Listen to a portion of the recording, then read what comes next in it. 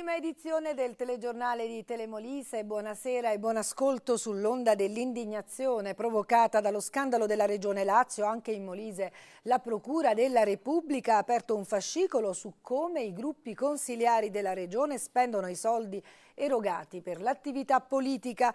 Un'indagine coordinata dal sostituto procuratore Nicola D'Angelo per la quale non ci sono al momento indagati. Oggi gli agenti del GICO della Guardia di Finanza hanno acquisito atti relativi alle spese sostenute dai gruppi negli ultimi tre anni. In apertura Giuseppe Lanese. Sono le 14 quando i quattro finanzieri del GICO escono dalla sede del Consiglio regionale di Via Crispi a Campobasso con in mano un faldone pieno di documenti. In testa il comandante Vincenzo Bontiempo. Cinque ore di lavoro per gli uomini del gruppo investigativo Criminalità Organizzata delle Fiamme Gialle per passare a setaccio tutte le carte sui fondi erogati ai 17 gruppi consigliari del Molise. Al momento non c'è nessuna ipotesi di reato, ma la Procura di Campobasso intende andare a fondo per scoprire eventuali irregolarità priorità nelle spese di quelle risorse. Sotto la lente di ingrandimento gli anni che vanno dal 2009 al 2011, ma l'indagine potrebbe interessare anche altri periodi. I locali presi di mira dalla Guardia di Finanza sono quelli di Via Crispi, sede della Ragioneria regionale. I militari si sono presentati alle 9, tre di loro erano in borghese. Sono entrati nella struttura mentre la macchina delle fiamme gialle è rimasta ferma nel parcheggio fino al termine dei controlli. I finanzieri hanno recuperato i documenti dall'ufficio ufficio segreteria del Consiglio e poi sono saliti al piano superiore per valutare quali carte acquisire. È giusto che un'indagine che si svolge in tutta Italia tocchi anche il Molise, ha commentato il presidente del Consiglio regionale Mario Pietracupa. Da parte nostra c'è la massima collaborazione, ha aggiunto, perché in questo momento la gente ci chiede trasparenza e di mettere al bando gli sprechi. L'indagine conoscitiva disposta dal PM della Procura di Campobasso Nicola D'Angelo segue il filone delle inchieste sugli scandali relativi relativi alle spese dei gruppi consigliari scoppiati in varie regioni italiane. Ad aprire il vaso di Pandora sugli sprechi è stata l'inchiesta sul caso Fiorito nel Lazio, che si è poi allargata a macchia d'olio in tutta Italia. Ora gli occhi sono puntati sul Molise, anche se dalla regione ci tengono a precisare di nuovo come sia già arrivata una bella sforbiciata ai costi della politica, con la norma che ha ridotto il numero di consiglieri da 30 a 20 e con quella che ha abolito i vitalizi per i consiglieri regionali. Questa dunque è la cronaca di quanto accaduto in giornata, peraltro a quanto ci è dato sapere la finanza potrebbe aver bisogno di altri documenti per valutare la regolarità dei rendiconti, ma intanto cosa pensa la gente comune di questo particolare momento in cui i politici sono al centro delle polemiche? L'ha intervistata per noi Marcella Tamburello. La crisi economica, ma ancor di più gli scandali della classe politica che negli ultimi tempi attanagliano l'Italia, stanno mandando su tutte le furie i cittadini. Giovani, adulti ed anziani sono uniti in un unico coro. Bisogna dire basta ai privilegi dei politici che da anni mangiano sulle spalle della povera gente. È ora di cambiare ormai. O non andiamo più a votare tutti o pigliamo le, le schede elettorali tutte, ma li dobbiamo bruciare tutti quanti, perché ormai non, non abbiamo fiducia più di nessuno perché qua o ci, va, o ci va la destra o la sinistra, quell'altro sono tutti uguali, sono tutti, pensano solo per loro. La realtà è una, che noi non ce ne accorgiamo, questi viaggiano su miliardi del popolo. Qui in Italia purtroppo stiamo affrontando una crisi e da parte di tutti quanti bisogna dare supporto a questa crisi e quindi anche i politici dovrebbero pagare con tutto questo scandalo che sta in giro, che vediamo per televisione, no? E ci meravigliamo perché uno che ha una pensione di 800 mila lire, 800 euro, e quelli che prendono tanti soldi che non si sa, non si sa da, dove, da dove escono e da dove tra, entrano. Però questo scandalo è una cosa che ci, ci rabbrividisce. Oggi hanno messo mano il Molise, che era ora, ma in tutte le regioni Qua non devono chiudere le province, devono mandare a casa questi signori. Ma venissero per il voto. E poi ci comportiamo di solito come loro meritano. Sono troppi i privilegi e i vantaggi della classe politica, per non parlare dei loro stipendi, hanno commentato i cittadini intervistati. Secondo lei quanto dovrebbe essere lo stipendio dei politici di un consigliere regionale? Come quello di un operaio. 1500 euro al mese, non di più. Secondo me uh, ci dovrebbe essere uno stipendio molto minore da parte dei politici. È uguale a quello nostro, 1200, 1300 perché loro non è che lavorano più di noi, eh, loro lavorano, lavoriamo più noi che loro, quindi eh, lo stipendio andrebbe bene come quello nostro.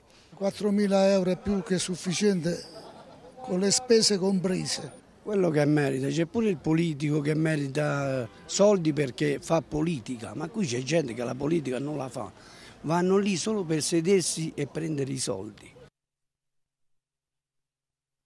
E intanto il Consiglio regionale tornerà in riunione sabato prossimo, 13 ottobre, con due argomenti all'ordine del giorno in agenda, il rendiconto per l'esercizio finanziario 2011 e l'assestamento di bilancio 2012. Ora la pagina politica con la tappa molisana di Matteo Renzi, il sindaco di Firenze in giro con il suo camper per la campagna elettorale delle primarie del Partito Democratico. Renzi ha fatto il pienone nella sala di Campobasso e ha evitato qualsiasi dichiarazione polemica nei confronti dei vertici del partito. Alle provocazioni ha detto rispondo con un sorriso. C'era per noi Piacentino Salati.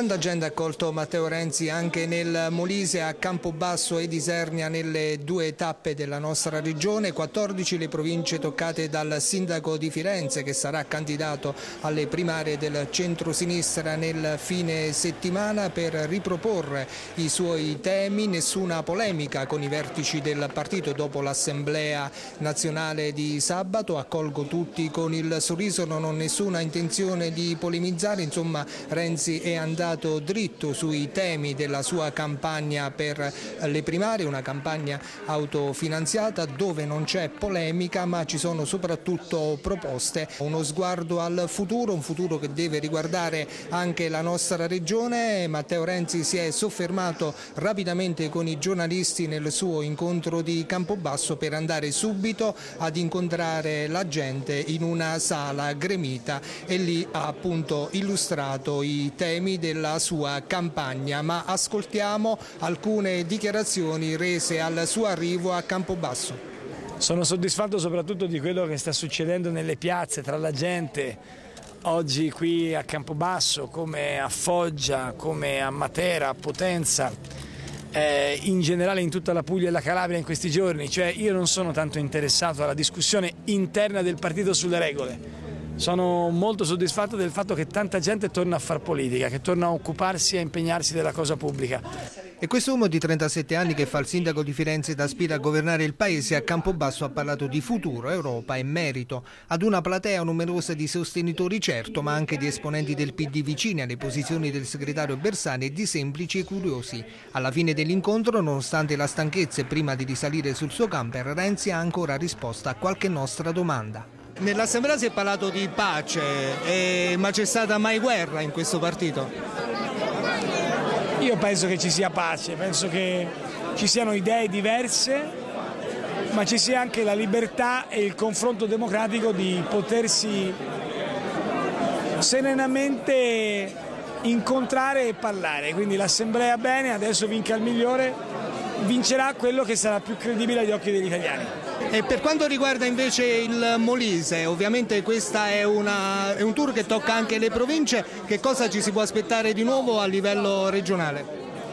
No, non credo, non sono molto convinto che questo progetto del governo andrà in porto. Il problema non è tanto la fusione delle province, il problema è una riorganizzazione dello Stato. Spero che si facciano le cose per bene e vediamo se lo farà questo governo il prossimo. E sono soddisfatti gli organizzatori del Tour Molisano di Matteo Renzi, in particolare Micaela Fanelli commenta anche la provincia di Isernia, ha detto sì a Matteo Renzi, l'entusiasmo cresce, il messaggio del sindaco di Firenze di forte e convinta apertura alle realtà territoriali e ai giovani sta facendo riaccendere la voglia di partecipazione e ridisegna un futuro finalmente diverso, ha detto il sindaco di Riccia.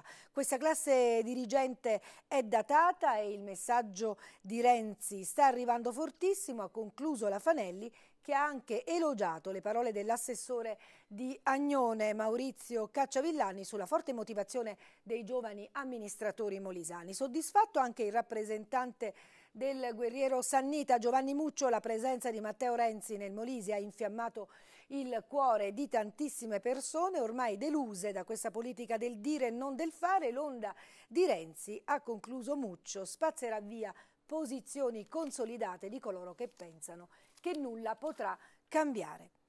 Cambiamo invece argomento, a Isernia torna a infiammarsi il clima politico dopo l'intervento dell'ex sindaco Gabriele Melogli che ha di nuovo attaccato il commissario Vardè responsabile a suo dire del malgoverno della città.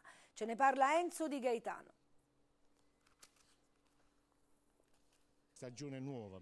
Gabri Melogli è un fiume in piena, il comune di Isernia dopo di lui sta distruggendo l'economia cittadina, in particolare l'ex sindaco ce l'ha col commissario Tino Vardè che ha trovato la sua personalissima ricetta per rispettare gli equilibri di bilancio, non pagare nessun fornitore, così però la città di Isernia va verso il declino critico l'atteggiamento che si sta avendo nei confronti dell'economia isernina. Cioè noi abbiamo fatto tanto per rilanciare questa città e penso di, che, eh, non solo io, ma insieme alla Giunta, insieme al Consiglio Comunale, io penso che eravamo riusciti a fare qualche cosa. Io vedo qua nella città di Isernia ci sono tutti i negozi che chiudono e eh, c'è eh, una situazione di, eh, di, insomma, un malessere generale. È un malessere generale che è molto più accentuato di quello che eh, si avverte in altre parti d'Italia, perché perché la crisi c'è dappertutto, noi ci rendiamo conto che la crisi è dappertutto, però se tu non paghi gli imprenditori locali, gli imprenditori locali non pagano i loro dipendenti e c'è una situazione di, di, di, insomma, di, depressione generale per cui anche chi ha qualcosa in tasca non la spende, questo comporta la fine di tante attività commerciali e questo Eisenia non lo merita, già è stata penalizzata con la soppressione della provincia, un'altra cosa semplicemente inutile, perché dire che è inutile sopprimere la, la provincia di Isernia è dannoso per la nostra realtà realtà è poco, cioè togliere la provincia di Siena, di Firenze, di, di La Spezia non cambia nulla perché che cosa volete che sia? Cioè là ci sono altre realtà economiche, ci sono altre istituzioni, ma noi, per noi è vitale che ci sia la provincia perché perdere la prefettura, la questura, la guardia di finanza significa perdere 300-400 famiglie. Poi alla fine la guardia di finanza è andata a Palazzo Orlando, ha visto che lì almeno... Ma eh, insomma Adesso qua le cose che ho avviato anni addietro alla fine arrivano a conclusione. Noi avevamo fatto già tutto, avevamo, avevamo parlato spesso con il generale da Pollonio, anche con il generale della, della, Guardia di Finanza di Campobasso, avevamo già concluso, avviato il percorso, si deve concludere soltanto, non so se è stato fatto il contratto di, di locazione, ma mancava soltanto la firma alla fine. Cioè le cose che abbiamo fatto, per fortuna una buona parte stanno, eh, stanno andando avanti, come l'auditorium per esempio, tanto criticato, ma oggi se non ci fosse stato l'auditorium, un convegno internazionale come questo, voglio sapere dove si faceva i Isernia. Ci sarà una manifestazione domani a Senigallia dei balneatori italiani per denunciare il blocco degli investimenti a causa dell'inerzia del governo che tarda a legiferare sulla direttiva europea che dal 2016 prevede la scadenza delle licenze che verranno perciò messe all'asta. Sentiamo Manuela Iorio. A 24 ore dalla manifestazione di Manfredonia contro le trivellazioni al largo delle isole Tremiti, gli affari intorno al mare tornano a far discutere. Questa volta la protesta è quella dei balneatori che, constatata la lentezza dell'Italia che tarda a legiferare sulla direttiva Bolkestein, domani alle 11 parteciperanno a un corteo a Senigallia con l'obiettivo di sensibilizzare il governo. Parteciperanno istituzioni e politici, tra cui il leader dell'Italia dei Valori, Antonio Di Pietro, che ha già dato la sua disponibilità. La direttiva prevede la scadenza delle licenze che verranno messe all'asta entro il 2016 senza favorire chi fino a quel momento ne è stato titolare e ha fatto investimenti. Pietro D'Andrea della FIBA Confesercenti denuncia proprio questo e l'impossibilità per i balneatori di poter rinnovare le strutture e fare investimenti nei prossimi quattro anni, visto che i lidi nel 2016 potrebbero non essere più loro. L'intento della manifestazione è dunque anche quello di mostrare al governo il blocco degli investimenti. La protesta è in concomitanza con l'apertura della fiera San di Rimini, dove 50 imprese di servizi del settore e l'intero mondo degli operatori turistici balneari balneari hanno deciso di non esserci. Insomma, l'appuntamento italiano di maggior richiamo per il comparto non ci saranno concessionari demaniali, un chiaro segnale al governo a cui ora passa la palla. Intanto non molla il Comitato per la difesa del Santissimo Rosario, nonostante la sentenza contraria del Consiglio di Stato che ha ribaltato la decisione del TAR Molise, l'avvocato Alfredo Ricci, difensore del Comitato, si dichiara fiducioso. Ancora Enzo Di Gaetano. Il Comitato in difesa del Santissimo Rosario non perde le speranze di poter salvare l'antico plesso ospedaliero venafrano dai tagli disposti dal subcommissario Basso. La brutta notizia però è che il Consiglio di Stato ha di fatto bloccato il ripristino dei servizi disposto a suo tempo dal Tarmolise. Però il Comitato in difesa del Santissimo Rosario non perde tutte le sue speranze. Non esatto che il Consiglio di Stato abbia ribaltato tutto e abbia dato ragione alle scelte dei tagli sull'ospedale di Venafro. Il Consiglio di Stato ha ribadito l'efficacia e l'esecuzione della sospensiva del luglio del 2011, ha fatto presente che quella sospensiva non è stata eseguita, ha soltanto ritenuto che in vista dell'udienza di merito sia opportuno allo Stato lasciare tutto com'è, cioè evitare il ripristino onde poter valutare nel merito le questioni che sono oggetto del giudizio. Quindi la questione è tutta aperta. Sì, beh, però è uno stop all'idea di reintegrare i servizi sospesi. È uno stop al ripristino nelle more dell'udienza di merito, ma è una conferma del fatto che non poteva toccarsi nulla e che comunque ad oggi non può toccarsi nulla, perché quell'ordinanza di luglio si è, si è ribadito che deve, restare, eh, che deve essere eseguita. Ma intanto ci, ci già, eh, già si preannuncia che il piano di basso prevede proprio il taglio totale dei servizi a Venafro, resterebbe solo un pronto soccorso. Se lo fa basso poi a quel punto è possibile un ricorso? Quando ci sarà l'atto lo leggeremo e lo valuteremo. Si terranno domani nella chiesa di San Giovanni Battista di Colle Torto i funerali di Ubaldo Nato, agricoltore di 66 anni, morto in un incidente nei campi a Ciarlantino, vicino al lago di Occhito. La vittima era alla guida di una pala meccanica che si è capovolta schiacciandolo. Come faceva spesso era andato a lavorare su un terreno di sua proprietà. Quando sul luogo della tragedia sono arrivati i soccorsi l'uomo era già deceduto. Più di 100 giorni di attesa per i pagamenti alle piccole e medie imprese che, se, che forniscono servizi alla pubblica amministrazione. Un'anomalia tutta italiana visto che l'Unione Europea ha fissato il limite massimo per l'erogazione dei pagamenti dovuti a 60 giorni. Al sud va ancora peggio. Sentiamo ancora Giuseppe Lanese. Non è solo la crisi economica a creare problemi alle imprese italiane, molte aziende infatti sono in estrema difficoltà a causa dei ritardi nei pagamenti da parte di privati e pubblica amministrazione. L'Italia da questo punto di vista è agli ultimi posti in Europa con ritardi che al sud superano i 112 giorni. Tanto deve infatti aspettare un'impresa che fornisce servizi alla pubblica amministrazione per poter incassare il dovuto. Per quanto riguarda i pagamenti dei privati, i tempi di attesa al sud sono di 76 giorni l'indagine nazionale di Fondazione Impresa che ha effettuato un'analisi di 1200 attività con meno di 20 dipendenti. A soffrire di più dei ritardi nei pagamenti da parte della pubblica amministrazione sono il settore artigianato con 127 giorni e quello delle piccole imprese manifatturiere con 121 giorni, ma dall'indagine emerge anche come la politica delle stesse imprese creditrici stia cambiando. Quasi tutte stanno avviando azioni per ridurre i tempi di incasso. La piaga dei ritardi nei pagamenti colpisce anche diverse imprese molisane, molte delle quali rischiano di chiudere. L'auspicio, affermano i ricercatori di Fondazione Impresa, è che la direttiva europea sui tempi di pagamento trovi piena applicazione anche in Italia. Il testo stabilisce 30 o al massimo 60 giorni per il saldo del servizio offerto dalle imprese, esattamente la metà di quanto atteso oggi. Una risposta necessaria, poi concluso Fondazione Impresa, per risolvere il problema di liquidità delle piccole aziende che insieme alla recessione stanno mettendo a dura prova la loro sopravvivenza. Disoccupazione, precariato e lavoro nero femminile sono stati i temi discussi nel corso di una riunione a Termoli della Lega Sanneta in Basso Molise. La disoccupazione femminile in Molise è in aumento, i dati ha denunciato Lorenzo Lommano sono allarmanti ma quasi nessuno ne parla. La classe politica regionale deve affrontare di petto un problema che ha concluso l'esponente della Lega Sanneta Lommano se non si risolverà al più presto porterà molte famiglie alla rovina. In una riunione in piazzetta Palombo, tre consigliere comunali di Campobasso hanno firmato un protocollo per la nascita di un nuovo coordinamento civico. In questo modo saremo più vicine a tutti i cittadini. Hanno detto il coordinamento avrà anche un blog e una pagina Facebook. Sono Adriana Izzi, Marilina Nero, Maria Laura Cancellario e allora sentiamole in questa intervista. Più vicinanza ai problemi dei campobassani e più democrazia da un lato, meno sprechi e meno discussioni inutili dall'altro. Sono i punti base da cui è partito il nuovo coordinamento civico L'Ascolto di Campobasso, capeggiato da tre consiglieri comunali. Un gruppo tutto al femminile che va oltre i colori politici e che non vuole assolutamente creare nuovi soggetti o forze politiche. L'iniziativa mira infatti a tutelare il bene comune e a ripristinare un dialogo positivo con i cittadini.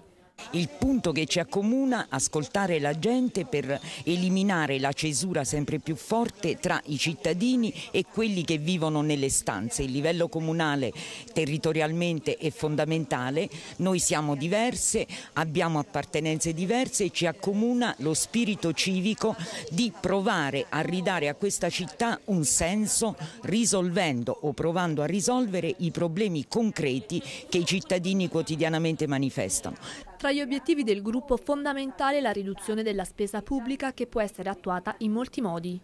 Per noi si può risparmiare per esempio creando, con, ehm, sintetizzando eh, sugli argomenti all'ordine del giorno e convocando una commissione che concentri più argomenti o che abbia una seduta a fiume di 6 ore, di 5 ore con un unico gettone di presenza oppure stabilire che in un'unica giornata più commissioni non prevedano più gettoni di presenza. Le soluzioni sono tante eh, purché rimanga vivo il dibattito democratico ed è questa la funzione delle commissioni, noi siamo assolutamente d'accordo con eh, il principio del risparmio e della spending review. Campobasso deve diventare un comune virtuoso e il coordinamento L'Ascolto cercherà di aiutare il capoluogo di regione in questa attività. Per far ciò il gruppo si riunirà un giorno a settimana, molto probabilmente il giovedì dalle 17.30 alle 19.30, proprio in comune, dove incontrerà i cittadini che vorranno confrontarsi e dialogare. Tra gli ulteriori obiettivi dell'ascolto, la messa in sicurezza di tutte le scuole campobassane.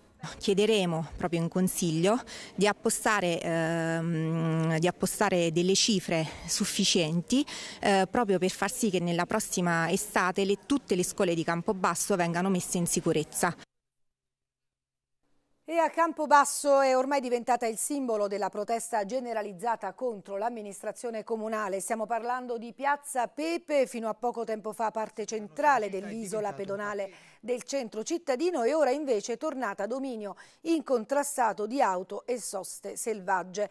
Le sperimentazioni annunciate da Palazzo San Giorgio e dal sindaco sono rimaste nei cassetti, nessuno sa il risultato delle indagini condotte su sosta, incassi dei parchimetri e scorrimento del traffico. La protesta dei comitati si è svolta proprio in piazza per sollecitare un nuovo intervento di Gino Di Bartolomeo, questa volta dicono a difesa degli interessi di tutti i cittadini e non solo di pochi commercianti, quelli che hanno le attività proprio in piazza Pepe.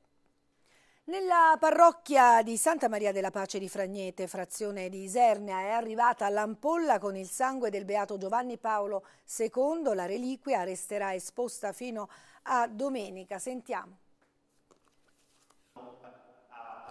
Al santuario di Santa Maria della Pace di Fragnete i fedeli stanno vivendo un'altra intensa esperienza di fede. In questi giorni e fino a domenica la parrocchia della frazione di Serni accoglie l'ampolla con il sangue del beato Giovanni Paolo II, un papa indimenticabile che con la sua forza e il suo coraggio ha lasciato una grande eredità spirituale ai cattolici di tutto il mondo. La reliquia è stata naturalmente accolta con grande gioia ed emozione dai fedeli. Per noi questo è un grande privilegio perché nella nostra chiesa entra un bene preziosissimo, ha detto il parroco Don Domenico Vecchi e di questo i fedeli ne sono molto consapevoli. E aprendosi l'anno dedicato alla fede abbiamo cercato nel nostro piccolo, anche se è una parrocchia piccola di campagna, eh, di, di, poter avere le reliquie del Beato Giovanni Paolo II in questa nostra piccola parrocchia e speriamo nella fede che il Signore ci accompagni per la vita a tutti e che i fedeli siano molto presenti in questi giorni. Il reliquario resterà in questa nostra parrocchia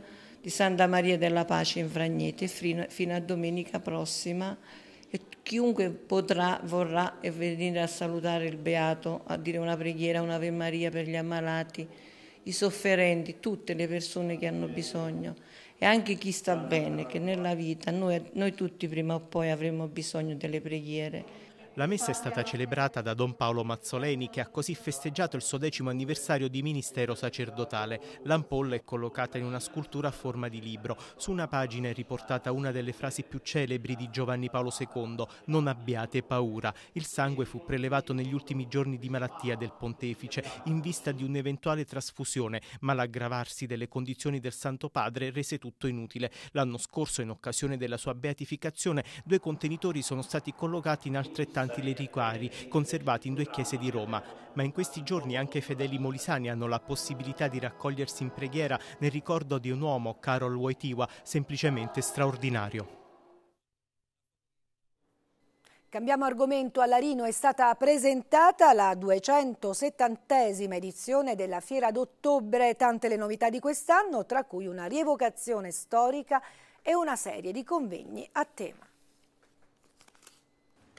con un po' di ritardo rispetto agli altri anni, ma si farà. La Fiera d'Ottobre di Larino non poteva mancare all'appuntamento della 270esima edizione, prevista dal 10 al 14 ottobre, slittando di una settimana sulla tabella di marcia, a causa del ricorso presentato da una ditta contro la Unicom, a cui il Comune aveva dato l'affidamento diretto per due anni. Ora però, con la sospensiva del Consiglio di Stato, si parte con tante novità. La prima è un catalogo della fiera stampato in 20.000 copie, con tutti i particolari e gli approfondimenti su alcuni espositori che quest'anno quest'anno sono circa 200, per lo più molisani, ma anche campani, abruzzesi, piemontesi, una vetrina non solo per gli imprenditori, ma anche per le bellezze architettoniche di Larino. Quest'anno ci sarà una fiera che è anche più bella rispetto a quella degli altri anni, organizzata in maniera diversa come logistica interna del campo sportivo, ci, sarà, ci, saranno dei padiglioni più accoglienti, più ospitali. Quest'anno eh, l'associazione CAR di Larino di Peppino Petriella ha deciso di organizzare giorni sabato e domenica eh, eh, la rievocazione storica della fiera degli animali con personaggi in costume, con i cibi dell'epoca